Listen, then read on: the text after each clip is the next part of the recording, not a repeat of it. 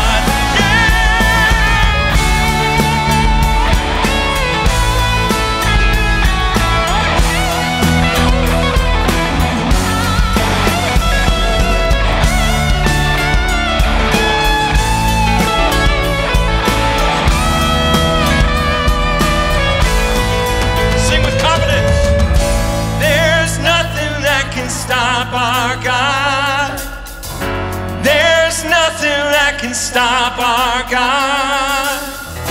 There's nothing that can stop our God. There is nothing. There is nothing.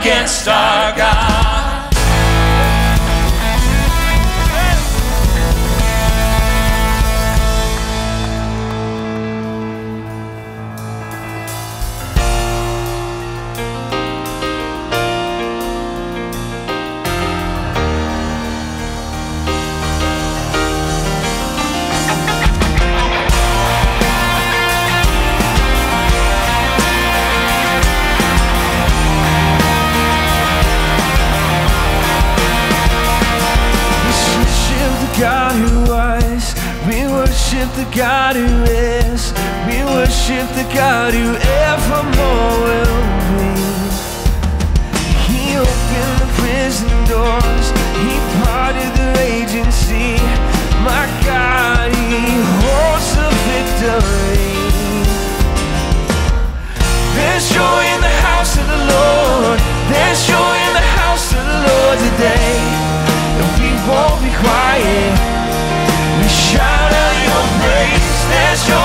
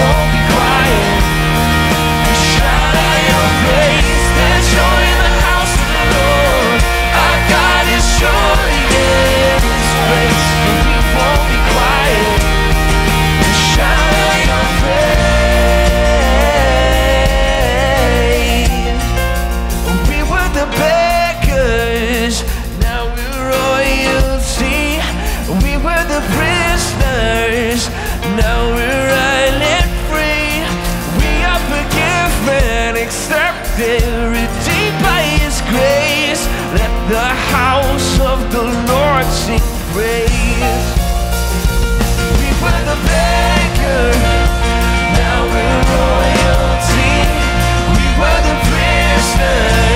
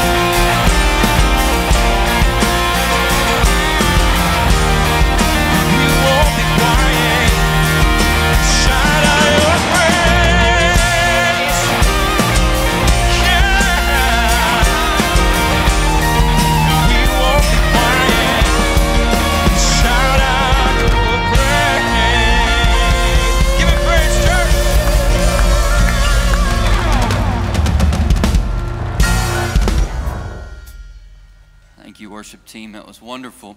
It is uh, a privilege to get to worship with you this morning. We are so glad that you are here. Uh, I hope that you are um, recognizing the Spirit moving in this place. It is a powerful thing when the people of God gather to corporately praise Him. So, thank you so much for being here. If you are a guest this morning, we would ask that you would uh, take out your phone and text in FL guest one word to the phone number 833-571-3475. That gives us a record of your visit, which is helpful for us, but it also allows us to connect you with a life group or a- an area that you can serve, and I think that's helpful for you. And so if you'll text that in, that would be great. We would appreciate it. And then for anybody, if it all during this service or throughout the week, you feel a prompting by the Spirit to uh, reach out and maybe ask questions about baptism, about church membership, or maybe you just need prayer with a pastor, you'd like to speak with a pastor, ask some questions, uh, that same phone number, 833 571 3475. But if you'll text FL respond, that'll give us an opportunity to reach back out to you as soon as we're able. Uh, we are uh, encouraging you over the past six months we've been doing this and we're not done yet uh, to set an alarm for 806 a.m p.m or both. And when that goes off just simply pray for our church. That's what the alarm is called on my phone. Pray for our church and just take a couple minutes. Uh, it goes off on my way up here each morning after i drop my son off. And it gives me an opportunity in the car just to, uh, to think about uh, you guys and us guys and where we're going and, and where we've been and, and to lift us up to the Lord. And so if you would do that, pray for our church. We are in the search for a youth pastor. Be praying for that. Uh, we've called Dr. Jason Burden to begin as our pastor, and he'll be here in two weeks. Pray for that transition, as well as praying for First Baptist Nederland. Uh, they're in the same position now that we were in a few months ago, and so they need prayer. Pray for that church. Pray for Dr. Burden pray for our youth pastor that's coming. Uh, I also want to let you know that a week from today, uh, in the chapel at 6 p.m., we will have our hymn sing. Uh, we'll also be doing communion that night. Uh, it is a really rich time. Even if you think, I'm not into hymns, I'd encourage you to get there, and you might find that with Tim Thornton, you might be into hymns. Uh, it's a lot of fun. We get through a lot uh, uh, a lot of hymns in that hour. There's no break. We just go one after another. It's a ton of fun. We would love to have you there. We'll also be taking communion. Hello, hello, David. Hey, Dr. Hardage. Dr. Hardage. Dr. Hardage. Dr. Hardage. Thank you so much. Thank you so much. Thank you so much. Thank you, Dr. Hardage. Thank you, Dr. Hardage. For filling in wherever was needed, for loving on us, encouraging us, and guiding us until Dr. Burden arrived. And he looks right at them and says, But who do you say I am? And Peter stands up and says, You are the Christ, the Son of the living God.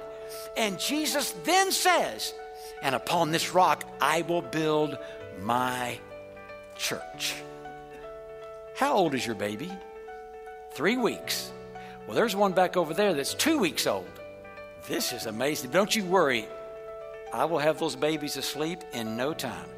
I may have even told you this same story. You see, I'm at the age I can remember my stories, I just can't remember to whom I've told them. Jesus will have to be the most important person in our life. Our relationship with Him will need to be the most important relationship that we have. Um, you're, you're stylish, uh, whether it's in your your uh, athletic running pants or your, your suit with the tennis shoes. You always look good. I'm going to build up suspense to this. Um, my apologies. I did not preach long enough today. And now, I, I just got to say this. So, I know you all can see me. This is a real revelation to most people in the church. I can also see you. If you don't know where Brenham is, then I can't help you. Uh, that is the home of Bluebell Ice Cream. And you should just know where it is. You have been a blessing. You have been exactly what we needed when we needed it. These last few months have been amazing uh, for me and everybody on the worship team. Impactful presence in our church uh, during these last few months. There's spiritual fruit all over your tree. I believe you've made a kingdom difference here, both for our entire church as well as for us as individuals. I'm saying to you, First Baptist Church, there is some good news out there, and the good news is your sins, my sins, our sins are forgiven because of the blood of Jesus Christ. God will use someone who's responsible, dependable, just be someone you can, that can be counted on. Integrity means we're the same every day, Sunday through Saturday. We will always be thankful. An eternal and grateful thank you for both you and Mrs. Hardage. I just pray many blessings for you and your family. David, I can't begin to describe the kind of esteem and admiration that Christian and I have for you and Kathleen. Thank you for being who you are, for serving the congregation at First Lubbock so well for these months. And I look forward to running into you all over the state in the months to come. Thank you for being a great friend, David. We love you.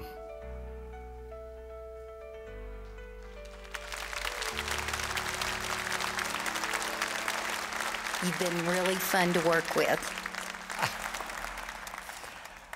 Well, I didn't expect any of that, but I'm very grateful. Thank you so much. It's been an honor to serve, and I'll say a few more things about that uh, a little bit later. But thank you so much. Kathleen and I are indebted to you as a church, and we have been most blessed. Thank you.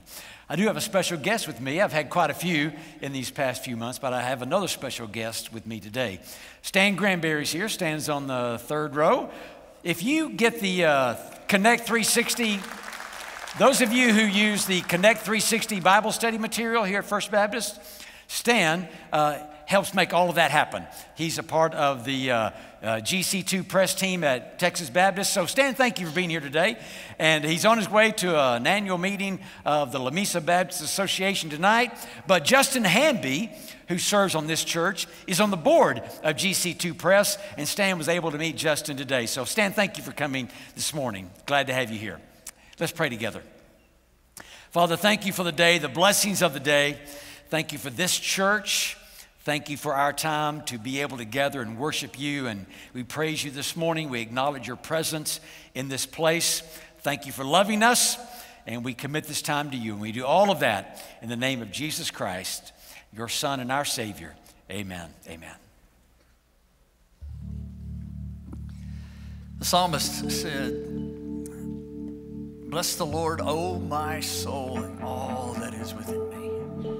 Later in that same psalm, in the 103rd psalm, he said, Don't forget all that he's done. Bless him. Don't forget. Bless him. Don't forget. So, our next two songs are going to give us a chance to bless God for all he's done. So, let's stand together as we sing.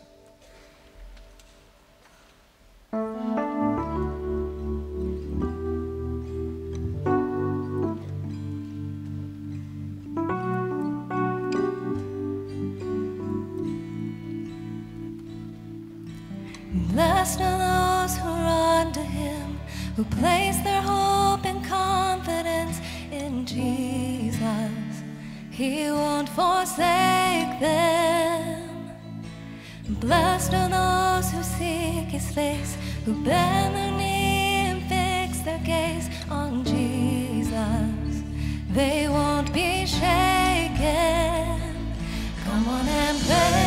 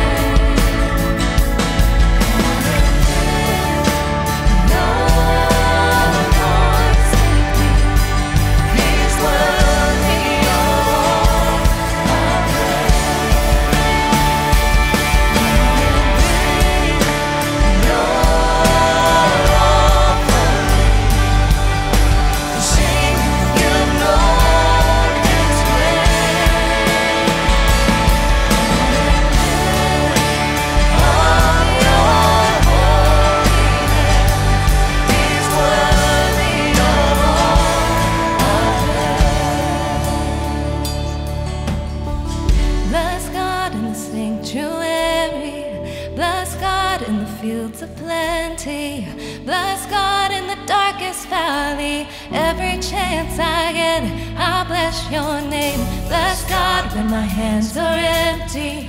Bless God with the praise that costs me. Bless God when nobody's watching. Every chance I get, I'll bless your name. Bless God when the weapons forming. Bless God when the walls are falling. Bless God 'cause He goes before me. Every chance I get,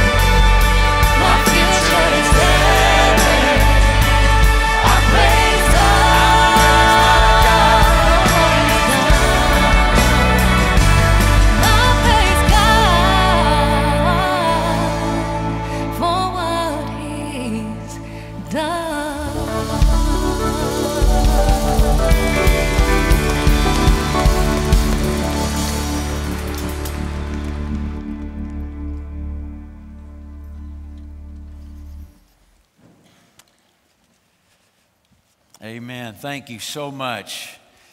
It has been a great blessing, Johnny, working with you and this whole worship team. Thank you. I can't thank you enough. Uh, nothing but a blessing. So, what's next? Where do we go from here? Well, for me, next Sunday, I will be at the Columbus Avenue Baptist Church in Waco, Texas.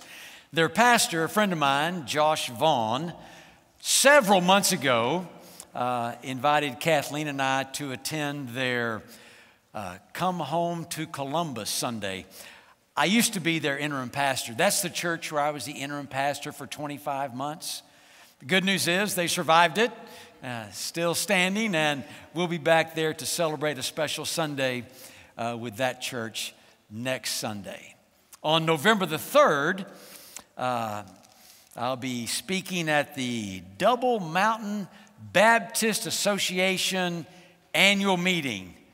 That'll be held at the First Baptist Church in Anson, Texas, where my father used to be the pastor many years ago. So I will look forward to going back to that church where I spent a few years as a child. On November the 10th, I'm preaching at the First Baptist Church in Liberty City, Texas. I wonder how many people here know where Liberty City is. See none. It's in far east Texas, almost to Louisiana, not far from Marshall, Marshall, where East Texas Baptist University is. On November the 17th, uh, that evening, I'm speaking at the First Baptist Church in Waxahachie, and what's happening that morning is yet to be determined, so we'll figure that out. After all of that, I'm not sure. We'll see. Maybe I'll spend a Sunday or two going to church with Kathleen at our regular church. We'll see if that happens. But that's for me. What's next for you? Well, back when I was the interim pastor at Columbus Avenue uh, a number of years ago, on my last Sunday there, and I built this up for two or three weeks before that last Sunday, I announced that I was going to preach on my last Sunday a one minute sermon. So we built that up pretty big, and as you might expect, as good Baptists would do, we packed the house that day. Who wouldn't want to hear a one minute sermon? What they didn't know was that I actually had 20 of those. So on that day, Kathleen, sitting on the front row there, just as she is here today, she brought with her a stopwatch and a little bell. So I got started, and after one minute, she rang the bell to the stunned surprise of the whole church. I changed subjects. I preached another minute, she rang the bell. We did that 20 times. I'm not going to do that today. But I will tell you what I shared with them in my first one minute sermon those years ago. When Jason and Christy Burden get here, I am asking you every time you see them, tell them your name. They want to know your name. They want to learn your name, so make it easy for them. Every time you see them, stick out your hand and tell them who you are. And I don't care if that takes 50 times.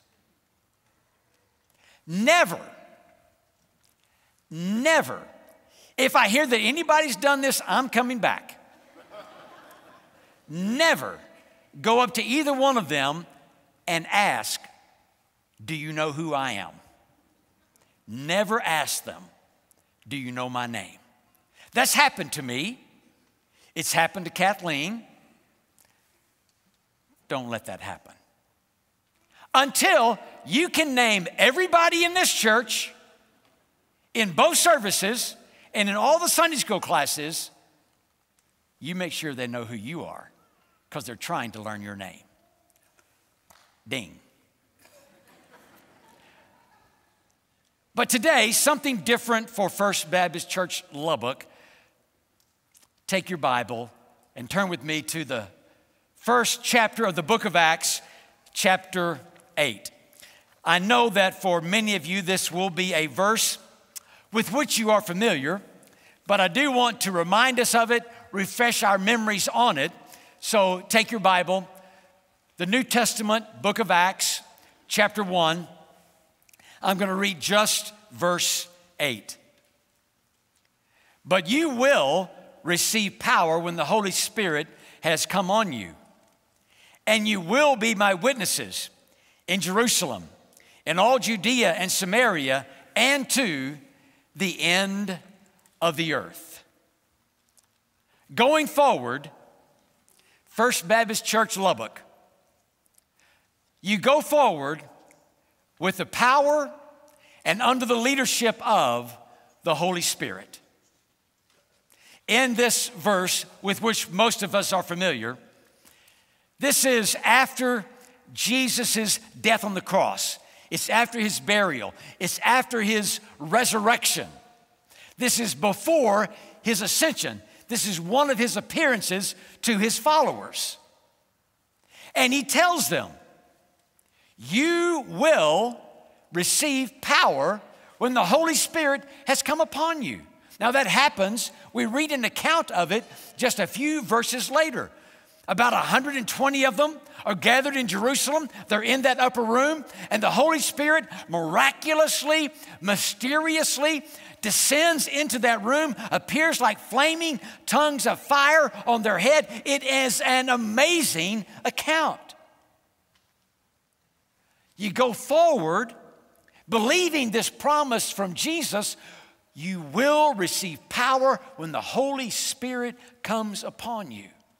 Now, as Baptists, generally speaking, we have no problem acknowledging an omnipotent God, the Father.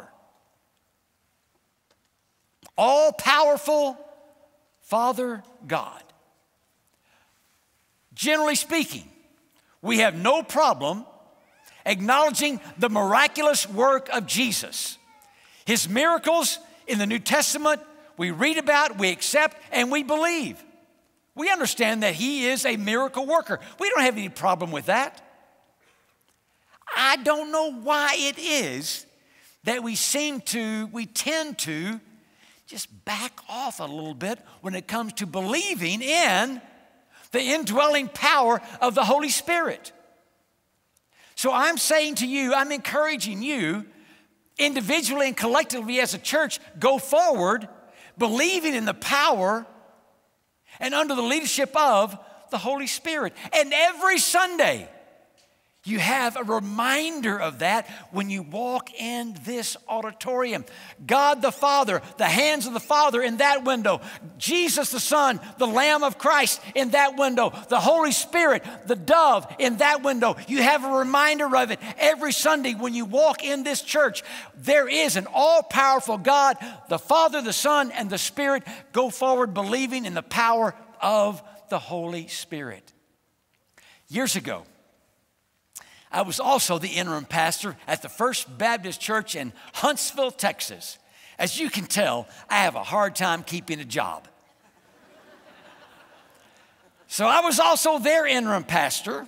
Beautiful church. The church is located right across the street from the Walls unit, the prison there in Huntsville. So the church has a significant prison ministry. So I'm the interim pastor there. We were living in Waco at the time. I was working at Truett Seminary. And one weekend, you'll remember Hurricane Ike. Hurricane Ike came right through the Gulf of Mexico, right into Galveston, right across Houston, right up the I 45 corridor into the woodlands, into Kingwood, into Conroe, and then into Huntsville. Well, one morning, that Sunday morning, we got up early, getting ready to go to church. The phone rings because we were driving from Waco to Huntsville early every Sunday morning. The phone rings, and it's the chairman of the deacons of the First Baptist Church in Huntsville, and he says, Pastor, no need to come today, and I'll never forget what he said. He said, Pastor, don't come today. There's no power in the church. Well, I knew what he meant, but I said, Excuse me? He said, Well, the electricity's out. I said, I got it. But sometimes I wonder if we really believe that there's power in the church. What if, what if one hot Sunday in August, you all came down here to the First Baptist Church and you walked in, the lights weren't on, the air conditioner wasn't on. The first thing you'd do is find somebody and say, Is the power out? And what if they said, Oh no, we just didn't turn it on? It's time to turn on the power of the Holy Spirit, believing that the same God who's all powerful and the same Jesus is who is miraculous is the same Holy Spirit who will lead, indwell, empower the church going forward. You go forward under the power and leadership of the Holy Spirit. You go forward making a positive witness, being a positive witness to who Jesus Christ is and to what he's done. That's what he says here, and you will be my witnesses. So we are to be, it is our responsibility to be, to bear witness to who Jesus Christ is. And you know what we believe about Jesus? I've said it before, I'm gonna say it again today. We believe that Jesus Christ was born of a virgin. We believe he lived a perfect life. We believe he died on the cross of Calvary. We believe he was buried in a tomb. We believe he was raised again by the power of God. We believe he's ascended into the heavens and is sitting at the right hand of the throne of God. And we believe he's coming again one of these days to receive all of us unto himself for all eternity who believe all of that about him. That's what we believe. It's our responsibility to bear positive witness to that every day and in every way that we can. Have you ever been summoned for jury duty? So, Kathleen and I have lived in a lot of different towns. We lived in Dallas now for, I guess, about, I guess, going on 13 years. Neither one of us are city people. We're both small town people, but we live in Dallas and uh, but, but we've been called for jury duty, both civil court and criminal court. We've been called for jury duty in Dallas more than any place else we've ever lived. So I have a theory. Now, for those of you who are in the legal world, if my theory's wrong, there's, don't, do not feel compelled to come tell me afterwards. But my theory is because in Dallas County, so few people show up for jury duty who are called my theory is that if you actually show up, you get put back in the hopper more often. So I never get chosen, but until one time finally, about three years ago. Now, Kathleen, she gets picked every time. I don't know why, but she is exactly what they're looking for. But you, you, you know, at the time I was on the jury, you know, I'm sitting in that little jury box and feeling pretty proud of myself for having been chosen. And then they start the case, and the lawyers call up witnesses after witnesses, and every witness they call, they call to be a positive witness for their side of the story. Jesus is calling you and me to be a positive witness every day for who he is and for what he's done. But sometimes I think I, maybe you, unintentionally bear a negative witness and push away the very people we're trying to draw in. But going forward, a renewed commitment to live with the power and under the leadership of the Holy Spirit and to bear a positive witness to the good news of the Lord Jesus Christ. And to pray and to give and to go and to do throughout the world. Take that story of Jesus to the ends of the earth. Just look at the geographical progression of Acts 1 8. You will be my witnesses, Jerusalem, Judea, Samaria, and the ends of the world. Uh, so just take that and let's interpret that for 2024 where we are right now. You will be my witnesses in Lubbock, in Texas. I think everybody knows that Samaria is Oklahoma. You will be my witnesses to the ends of the earth. That's just the way it is. Take it seriously.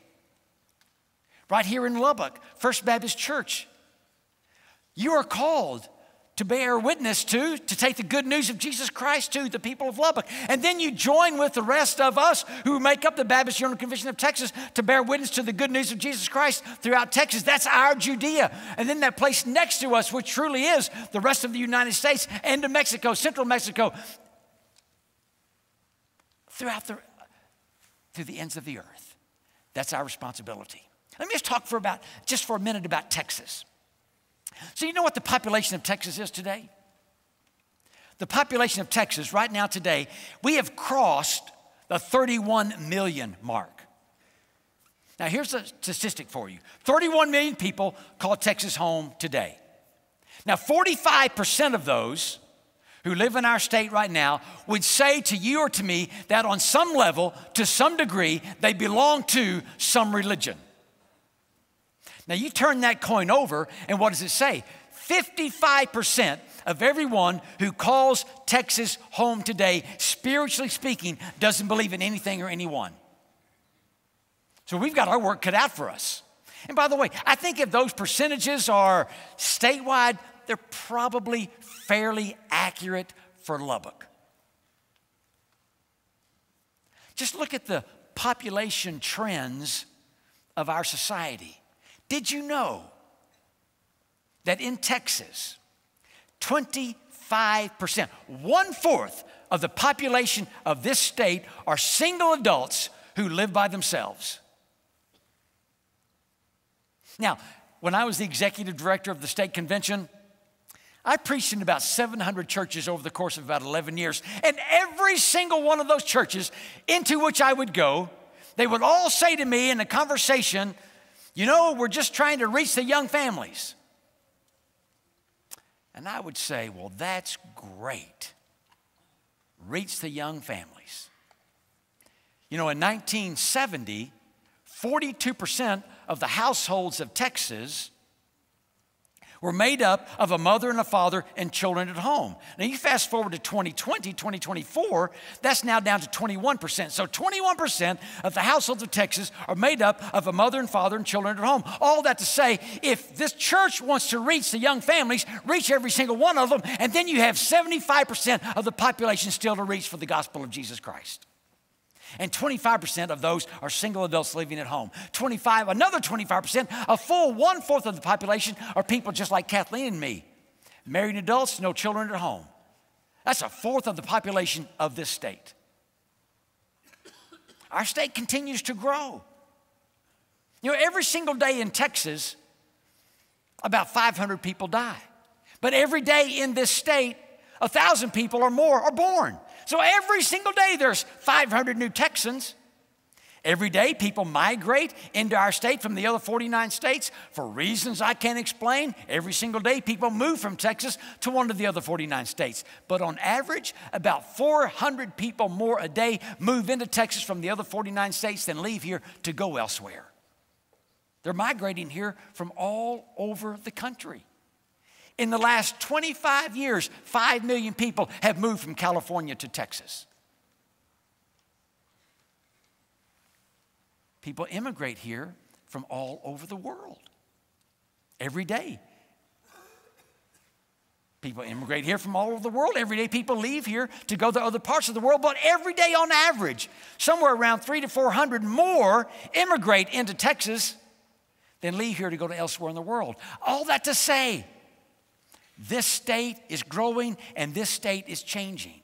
In First Baptist Lubbock, going forward, you pray like you've never prayed before. You give like you've never given before. You go like you've never gone before. You go places you've never gone before. And you do ministry like you've never done it before. Where I am serving now with the Texans on Mission, there's a partnership right now that you could be a part of with the nation of Israel. We have a partnership with the Israeli Defense Force feeding Israelis, Palestinians, wherever they are, hungry people with opportunities that go along with that to share the good news of Jesus Christ. Partnerships with the country of India, partnerships with Uganda, partnerships with Peru. You pray and you give and you go and you do ministry like you've never done it before. It is time to raise the game to a whole new level. The needs have never been greater. The call of God has never been stronger. So, going forward, what do you do? I would propose that you go forward believing in the power and depending on the leadership of the Holy Spirit like you've never believed and depended on before. And I would beg you to leave this place today determined to be a positive witness for the difference that Jesus Christ makes when you acknowledge Him as your Savior. And going forward, please pray and give and go and do because the stakes are higher than they've ever been. I don't know if you follow me on social media or not. I'm on Facebook, I'm on X. Now, if you're not following me on social media, I'll be honest with you, your life is not as fulfilled and complete as it could be. Uh, but if you do follow me, you will notice that I have a couple of phrases that I use a lot. If I see something I like, I don't just click that little like button. I type in there, I like this. But I also have another phrase I use. I used it this week. On Thursday, I had lunch with a friend of mine. He's a pastor in Romania. He's the pastor of one church, he's the interim pastor of two other churches, and he leads a group of 70 churches in Romania right on the border with Ukraine. He does amazing ministry just proud of him. Glad I have a chance to know him. And we strategize together about ministry going forward. And maybe that's something this church could plug into in the future. But when I put my report kind of on my little social media, I said, Great to meet with Pastor Catalin Korter, that's his name, from Romania, to strategize about mission and ministry in the future. And then I said, as I always say, good days ahead. I'm going to leave you with that because that's my belief for First Baptist Church Lubbock. Church, there are good days ahead. Amen and amen. Let's pray together. Father, thank you for the day. Our time, your word, this church, and this opportunity to respond. Heavenly Father, we just pause and give this time to you. Call us to you. Give us the courage to respond as we need. In Jesus' name we pray. Amen.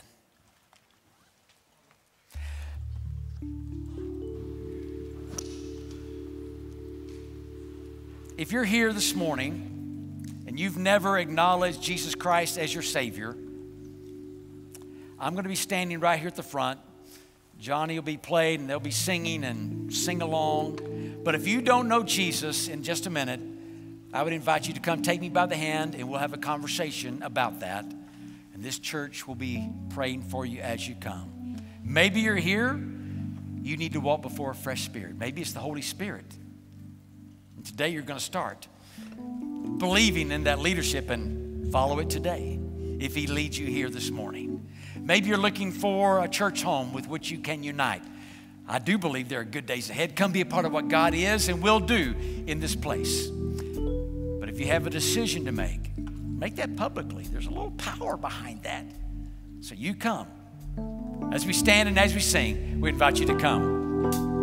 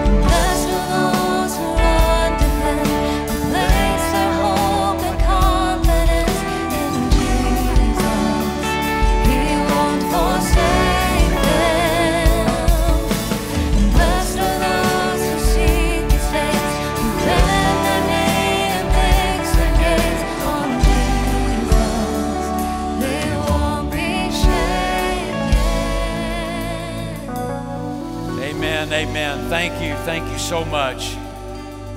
Let's take a minute and just pray for, for these who've come and just, uh, God, thank you for our time today.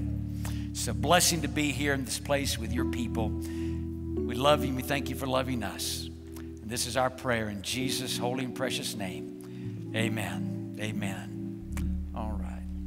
Oh, well, hey. Hey, not getting away that easy. Uh, not going to run to the back like you usually do. I so. see that. I, you got to hurry to get this, beat this group out of church. I know that. That's right. Well, church, um, as Dr. Hardage said, this is his last official Sunday with us. Uh, I hope we see him back a, a lot over the next few years. But uh, for me, and I think I know everybody, it's a bittersweet time. We're ex- super excited about uh, where we're headed and our new start. Amen. But uh, we've all grown to love and admire you over the last several months. And um, today we have a little gift here. Um, this, uh, if you follow him, you know that. Um, I mean, I think like almost every Saturday he's uh, running somewhere, and so I. I, I got a lot of people chasing me. and so he's a runner. So we have a runner's gift bag here, and um, it's got some, uh, you know, I think there's some carbohydrates in there. There's some, there's some shoes that I think may shave some time off your runs. I think I'm not sure about that, but Those, those are that's what I miracles. heard. Those are miracle shoes. and, and then most importantly, you know, Kathleen has been so gracious to let him come and, and um, you know, serve with us. And so there's a, a, a gift card for her in there to a really nice restaurant uh, to, to really acknowledge and thank her as well. But, um, you know, church, he, uh, he came in and has really helped us uh, shepherd us through this interim period. And uh, I'm, I know we're all appreciative. Let's give him a hand. Thank you. Thank you. Thank you. I appreciate it. Very grateful. Thank you. It's our privilege, our honor. We've been nothing but blessed. Love the church, and I do believe there are good days ahead. Thank you. Um, before I pray, uh, pray for um, Dr. Hardage, Kathleen. Uh, one of the things that I'm going to do is uh, I've had a lot of people um, express uh, their desire to uh, do something special uh, for Dr. Hardage. And so on your way out today, there will be gentlemen out there with a, um, the plates. If you would like to give a love offering for Dr. Hardage and Kathleen, um, uh, just to kind of send them on their way, that would be great. Um, I'll say a, a word of prayer, and then we're going to stand down at front here, uh, the three of us, and you can come by and, and uh, say a word of, of uh, goodbye if you'd like to. So I'm going to pray for us now. Yeah, amen. Lord, I thank you so much that um, you sent Dr. David Hardage our way. Um, I know, Lord, um, you had that in your divine intentions, and uh, we praise you for that. Lord, I just pray for he and Kathleen as they move forward in, in still one of the most active ministries I've seen, uh, even in, in supposed retirement. And um, I pray for that next church that uh, he is an interim for, that you'll help them. Um, I pray you'll bless his work with Texas on Missions, um, and that you'll just give him and Kathleen some really rich years serving you into the future. In your name I pray. Amen. Amen. Thank you. God bless you all. We love you. Thank you.